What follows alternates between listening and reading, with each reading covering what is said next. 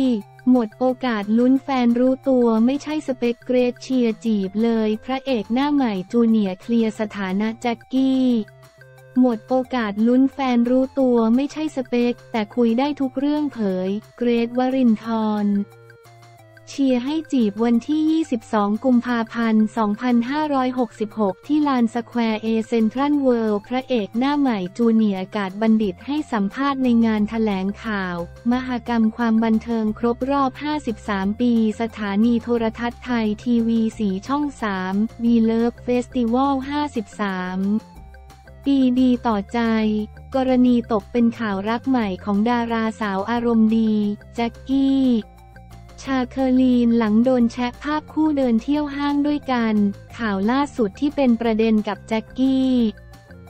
วันนั้นก็ไปด้วยกันหมดครับ เราก็สนิทกันถ่ายละครด้วยกันนานแล้ว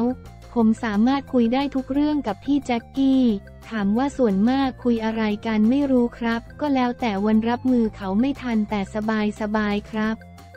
เที่ย พอมีข่าวว่าเราชนะหัวใจแจ็คกี้รู้สึกยังไงบ้าง ชนะหัวใจเลยเหรอ หัวเราะ ตอนคุยกับพี่แจ็คกี้เราก็ตลกเลยครับ คือเพื่อนส่งมาให้ดูว่าเป็นข่าวแล้วนะ เป็นดาราเต็มตัวแล้วนะ เราแค่ตลกเฉยๆไม่ได้ตกใจอะไรครับ ส่วนพี่เขาก็โทรมาหาบอกว่าเกรงใจที่เป็นข่าวกับเรา ซึ่งผมก็เกรงใจเขาเหมือนกัน ร่วมงานกันมาเขาเป็นคนยังไงบ้าง ก็เป็นอย่างที่เห็นครับ ปกติดีเกรียนเกรียนกวนกวนประสาทนิดนึง หัวเราะ ขอโทษครับครับ สเปคเลยไหม ก็ใกล้เคียงสเปคเลยครับ ประมาณนี้ ถามว่าลุ้นขึ้นไหม ถ้าเป็นแฟนกัน ไม่ครับ หัวเราะ ไม่รู้ครับครับ แจ็คแต่แจ็คกี้ก็บอกว่าเราไม่ใช่แฟน ตอนได้ยินใจสลายไหม ผมจะใจสลายทำไมพี่เขาชอบคล้ำดำแดด ผมไม่ใช่สเปคพี่แจ็คกี้ครับ จริงๆ ผมเห็นในคอมเมนต์แล้วว่าเชียร์กันเยอะก็รู้สึกผิดที่ทำให้เขาเชียร์กันขนาดนี้และจริงจังขนาดนี้ พระเอกสถานะตอนนี้เป็นยังไงโสดครับ ผมยังโสดอยู่ตอนนี้คือตั้งใจทำงานมากกว่า ส่วนวันนี้ก็มีโอกาสได้เจอพี่เกรซวรินทร์ด้วย เขาก็เดินเข้ามาคุยและมาเชียร์ให้เราจีบเลยเลยเลย เราเลยบอกว่าไม่ใช่ใช่ครับ ส่วนผู้จัดการส่วนตัวไม่ได้ว่าอะไร ผู้จัดการไปเที่ยวบาร์โฮสอยู่ครับ อันนี้คือความจริงล้วนๆหัวเราะ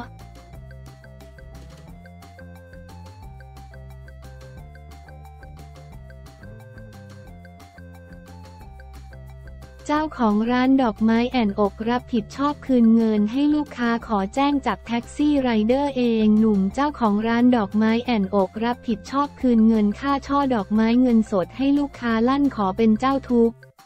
แจ้งความเอาผิดแท็กซี่ไรเดอร์หอบภาพวงจรปิดตอนมารับช่อดอกไม้เป็นหลักฐานให้ตำรวจสอนอบางเสาธงเมื่อวันที่ 22 กุมภาพันธ์ 2566 ที่สอนอบางเสาธง นายอภิชาติ อายุ 25 ปี เจ้าของร้านดอกไม้ Flower Shop ตลาดดอกไม้ปากคลองตลาดใหม่ เดินทางมาที่สอนอบางเสาธง เพื่อรอพบนางสาวสุนิตราบุญแย้มผู้เสียหายซึ่งเป็นลูกค้าที่สั่งช่อดอกไม้เงินสด 50,000 บาท หวังจะเซอร์ไพรส์แฟนรับปริญญา แต่ถูกแท็กซี่ไรเดอร์ส่งของชื่อนายนรงศักดิ์โชเฟอร์แท็กซี่เขียวเหลืองขโมยไป ตามที่เคยเสนอข่าวไปแล้วนั้นอ่านข่าว สาวเปิดใจสุดช้ำแท็กซี่เชิด ช่อเงินสดครึ่งแสนหวังจะเซอร์ไพรส์แฟนรับปริญญา โดยนายอภิชาติกล่าวว่าเมื่อวันที่ 19 กุมภาพันธ์ ที่ผ่านมาลูกค้าได้ติดต่อมาที่เพจของร้านเพื่อสั่งดอกไม้ตามปกติ เหมือนลูกค้าทั่วไปและทำการโอนเงินทางร้านก็จัดทำดอกไม้และส่งโดยใช้บริการไรเดอร์บริษัทหนึ่ง ช่วง 9 โมงของวันที่ 20 กุมภาพันธ์ซึ่งปกติทางร้านจะใช้บริการไรเดอร์ส่งตลอด ไม่ได้อาจาย เพราะมองว่าแอปพลิเคชันแสดงข้อมูลของไรเดอร์ทุกอย่างจึงไว้ใจ ส่วนดอกไม้ช่อเงินสดทางร้านก็ทำมาตลอดกว่าร้อยช่อแล้ว มีตั้งแต่หลักหมื่นไปจนถึงหลักแสน ที่ผ่านมาเวลาส่งก็ส่งโดยใช้ไรเดอร์ แต่ยอมรับว่าประมาทที่ไม่ได้ปิดคลุมให้มิดชิด เพราะช่อใหญ่คลุมไม่หมด แต่ก็ยังไม่เคยมีปัญหามาก่อนทั้งนี้ตนยืนยันร้อยเปอร์เซนต์ว่าไม่ได้รู้จักกันกับไรเดอร์ ตนมีหลักฐานว่าเอาดอกไม้ไปส่งให้ไรเดอร์จริง ๆ จึงไม่กังวลกับข้อกังขานี้ที่บอกว่าตนไม่ได้ถ่ายรูปไรเดอร์ที่มารับของ เพราะปกติก็ต้องมีข้อมูลในแอปพลิเคชันอยู่แล้ว ส่วนหลังจากไรเดอร์รับดอกไม้ไปจากทางร้าน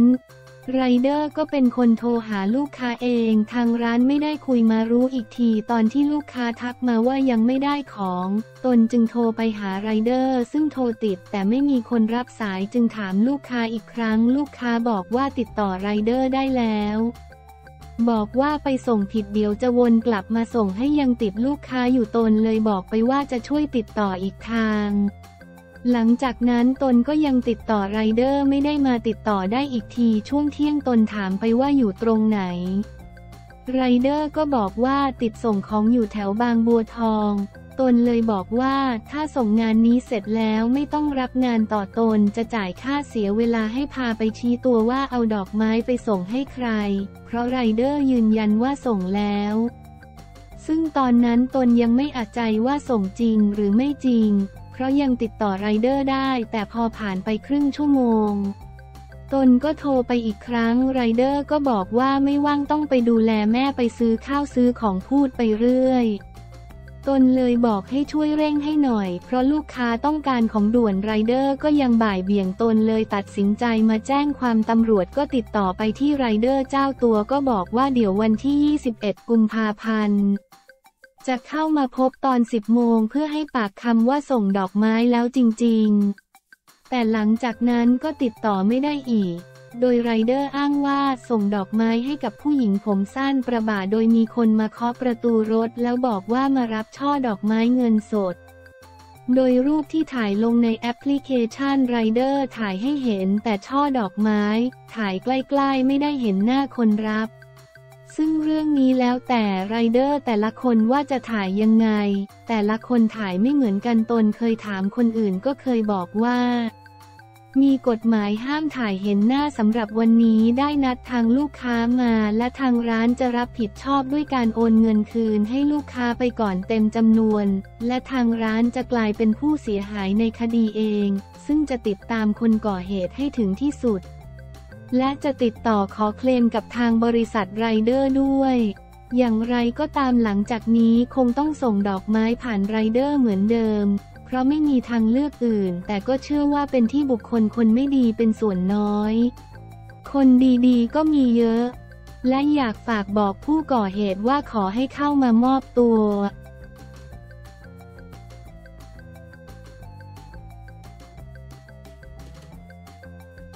Thank